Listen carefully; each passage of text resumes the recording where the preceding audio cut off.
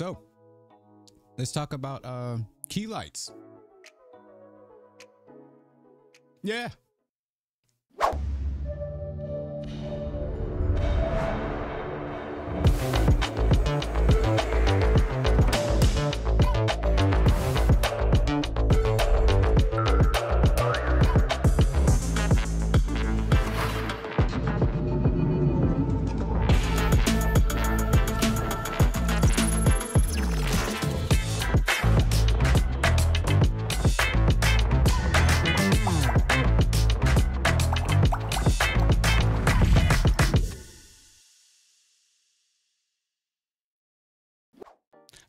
Welcome back to the Fish Tank. Hope you guys are having a squidtastic day. My name is Squid Squidhead Joe, and in today's video, we're going to be talking about the Godox Esports LED light or the ES45. Now this usually retails on Amazon, at least that's where I purchased it from for $135. But when at the time of me purchasing it, I actually got it for $118 and I actually got two of them um, just because my setup is kind of different and a little unique since I'm running everything by myself or wherever. And I wanted to do more videos like this in the future and move setups around or wherever and maybe, you know, have talking head videos in different spaces. I wanted to be able to have this as my actual key light because you can actually use this as your actual key light. You don't need to you know have it tied to your stream deck or tied to a mobile app or whatever like the elgato key light and and on top of that it doesn't cost as way or way overpriced like the uh, Razer key light that literally just launched or whatever not too long ago.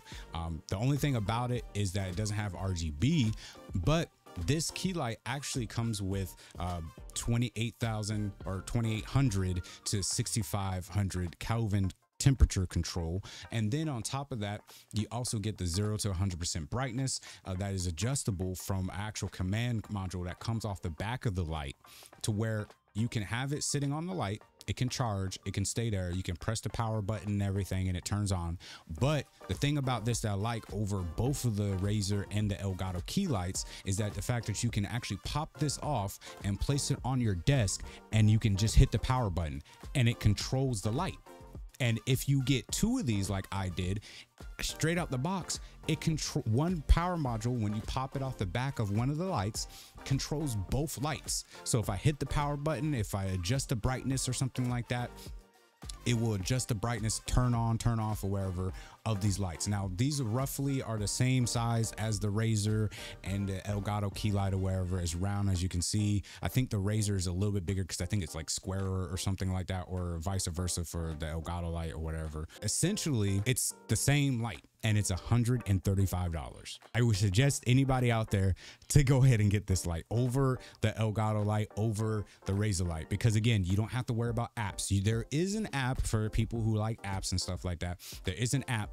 but for me, I don't care for apps. There's too many apps out there. I already got a lot of apps. I don't need that, especially while I'm streaming or sitting here or whatever, or even use like take up space on my stream deck or wherever for you know the elgato lights or going to mini folder all that stuff. Or like i said use the app because i've seen a lot of people actually complain about it being like a little laggy and stuff. With that again ain't no software needed anything. You got a physical switch. I rather honestly have a physical switch especially since i have two lights and i can control them at the same time.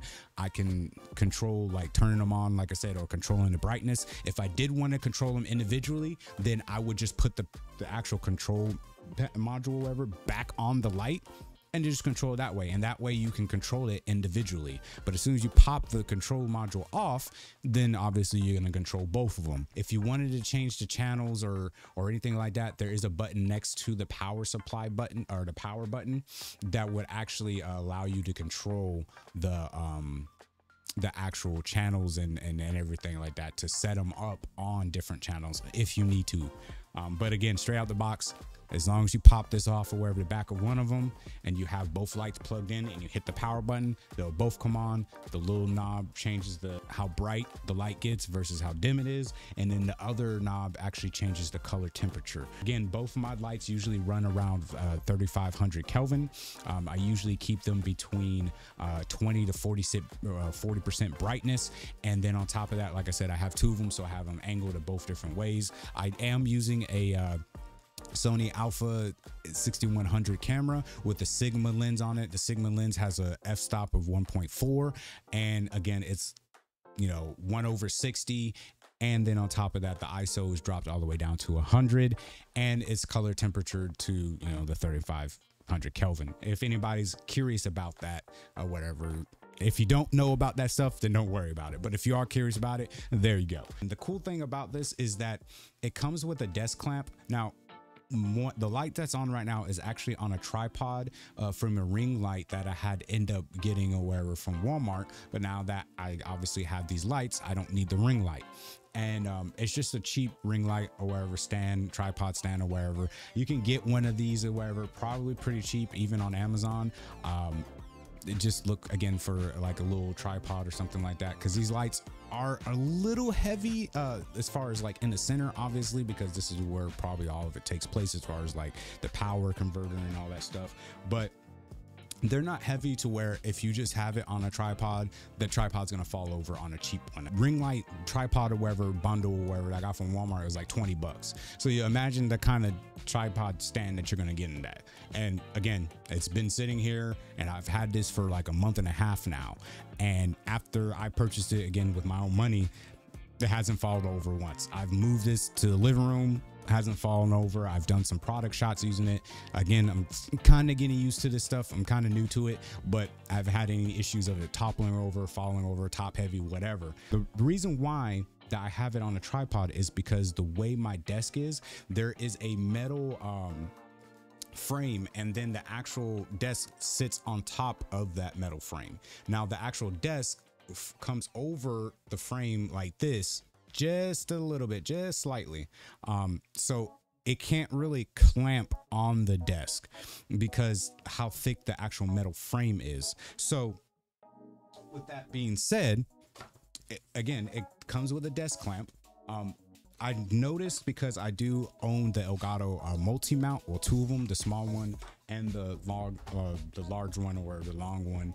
Um, I do notice that their desk clamps are a little bit um, bigger. So their desk clamps is probably like around that big.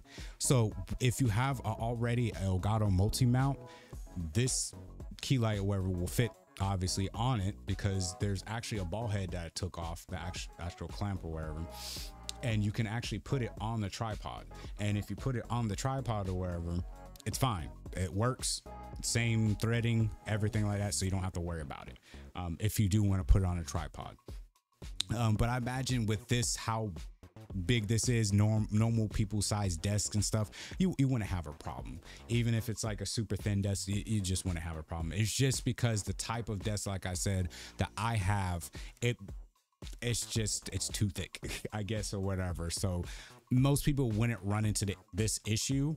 And again, you can always just get a cheap tripod or wherever that doesn't really cost you that much. And even still, even if you do that and get like a $10 one or $20 one, like I did from Walmart and just throw away the ring light or something like that, or use the ring light for something else i don't know.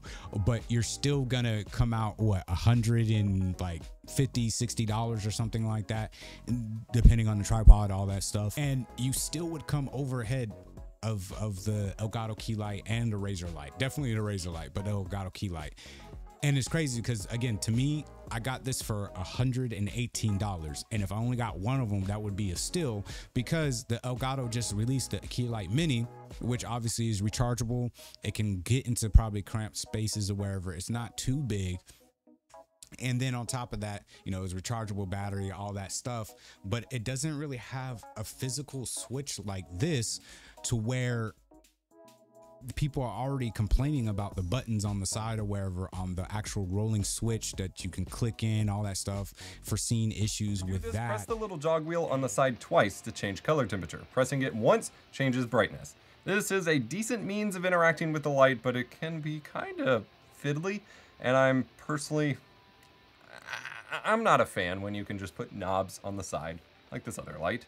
However, thankfully you can still connect it to Wi-Fi by holding the jog wheel for 5 seconds and then adding it through Elgato's Control Center app and control it via that method or with the Stream Deck for more usable controls. It's nice, you know what I'm saying? It's a hundred dollars and it's nice and like I said, it's portable and you can put it in places and it, having it being my magnetic and everything. It's it's a really good light. And don't get me wrong, Elgato makes really good products and everything. But when you're coming from a point where you're building your your setup over time and it's taking months and months and months and you don't really have that much money to spend, asking somebody to spend two hundred dollars on on a light that's only really controlled uh, by apps or a stream deck. You would have to plug it to your computer and then you would have to use the app on the computer or the stream deck or your phone. With this you don't have to plug it in the computer. So if i wanted to use this key light like I said, in my living room, if I wanted to grab it and just go in my living room, plug it into a wall, I can still use it from the command module. I don't have to worry about taking out my phone, looking at it or wherever, or having it plugged up to a PC or something like that. Like most people won't need something like this because, again, most people are using this for like their live streams or their YouTube videos or something like that, like how I'm doing right now. But just the convenience sake of being able to grab this thing, my my wife just texted me. but just having the convenience be able to grab this thing and again, like I said, just plug it into a wall outlet or some kind of power source or wherever. It's just it's just so much better. It doesn't have RGB like the Razer light, but there is somewhat of a workaround, not necessarily with this light in particular, but there is a workaround for RGB. Um, if you have any uh, products or anything like that that has RGB, like from Govee or other somewhat name brand companies out there, there is something that you can have. Now it's kind of a subscription base, but you can. There's also a free version or whatever of it, but there's also a subscription based uh, version of it. It's called Lumia Stream. I'll put a link in the description. I'm not affiliated with them at all or anything like that, or I'll probably put like a video about it in the description, but it would actually have your lights whenever you switch scenes in OBS or make a source available in OBS or somebody like follows or, you know, I guess sub, donate, cheer, all that stuff, they that your RGB lighting will actually react to it. And that's what you know the Razer key light is kind of like saying like hey we have RGB and on top of that we can do this for your live streams well again, why would you take away your key light just to have RGB and then your key light come back on? Why not have your key light on and then your RGB react that's already in the room?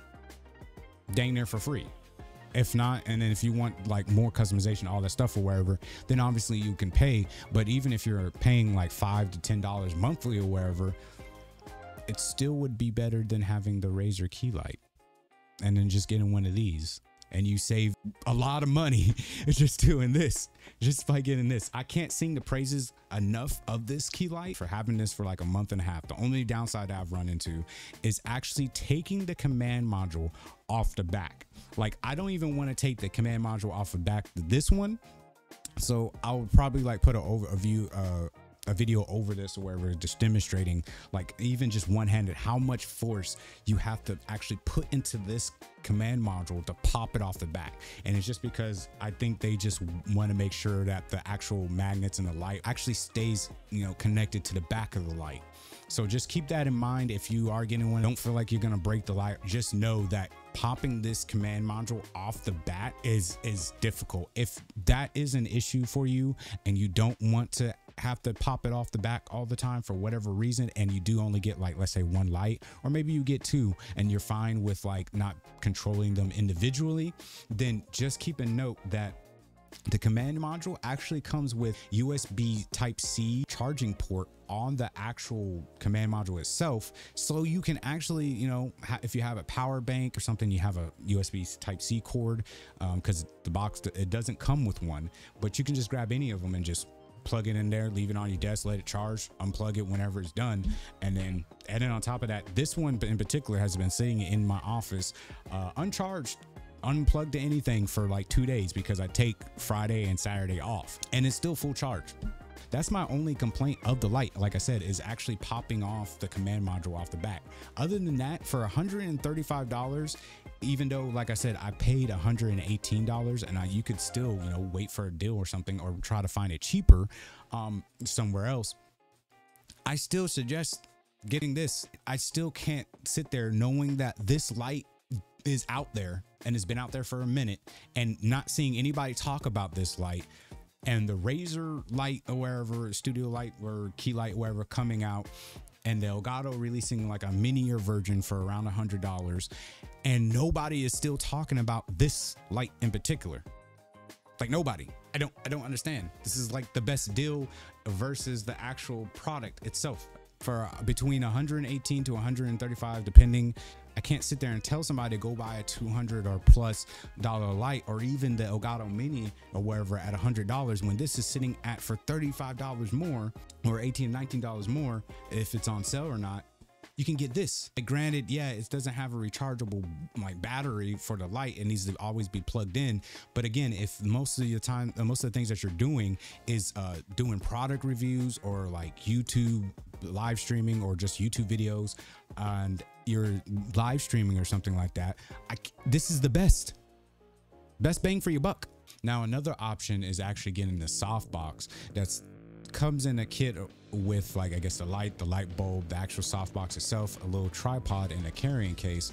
It's called uh, Mount Dogs, I guess, uh, softbox, and it's around $50 and I've seen a lot of reviews and videos on it. I'll probably put a link in the description to a guy who did a really really great job covering it. Um, the only thing about those light boxes for uh, soft boxes from Mount Dog and like Neewer um, on Amazon that you see because um, they have their own type of light or for that. I won't even get the LED panels because it's hard with the barn doors and actually getting the soft box attachment. And if you're getting all that for the LED, you know, panels with the barn doors and all that stuff, it's going to end up coming out to around the same price. On top of that, it's not perfectly diffused like these type of lights are. And then on top of that, you run into a temperature issue, which is my thing about those soft boxes that you can see around around that price point. One of the major cons of that is it does get hot. Oh, the biggest drawback for me with this light is the heat that comes off it. Within a couple of minutes, I am roasting and sweating. And most of the time I actually end up like sweating on my face so as well. Having all those issues and then definitely, like I said, the heat is definitely something for me, especially since I, you know, I live stream for long periods of time normally, or I'm just in the office for long periods of time. Like I said, it's a softbox, so it's gonna take up more room and then on top of that generate more heat so with the softbox being you know top heavy obviously in a cheap light stand then you would have to invest into like sandbags or something like that to keep the stand from falling over or tipping over. And then on top of that, if something happens to the bulbs inside or wherever the soft boxes, um, Neewer does offer replacement bulbs that you can find on Amazon, but they were never in stock because everybody's obviously getting a cheaper option. So that's a problem. Mount Dog doesn't even offer, a lot of people talk about they can't even get in contact with the manufacturers or anything like that to get those light bulbs or wherever. Be careful if you're going for those cheaper options. I will still link it down in the description. Again, all the links down in the description to actual products are not affiliate links at all. They're just you know there to help you guide you in the right direction. Um, if you are interested in the softbox light again i'll put you know a video in the description or wherever so you can check that out. But i just i highly recommend these. These are going to be better than you know the elgato key light and they're going to be better than the Razer light and like i said there's alternatives for your rgb if you want that to you know react to people following you and stuff like that on your live streams and everything. I couldn't stand it anymore seeing all these products being released and everybody hyping them up and stuff, and then looking at the prices, and I'm like, this light's right there. Ain't nobody really talking about this light. I don't know why, but nobody's really talking about it. So, wanted to put that information out there. Hopefully, you guys enjoyed. If you guys did, then you already know what to do. You can follow all the social media links, they're all in the description. I greatly, greatly appreciate y'all watching this video. Again, a full in-depth, I guess, setup tour guide thing is, is coming soon. I'm just waiting for another camera to get here. I'm going to have to do it before my second PC gets here, I guess. And then, um, a full video about all the RGB lighting and stuff that I use is coming out as well. Just waiting on the thumbnail uh, for it. So with that being said, hopefully you guys have a squidtastic day. I will see you guys in the next one and uh, peace. Yeah.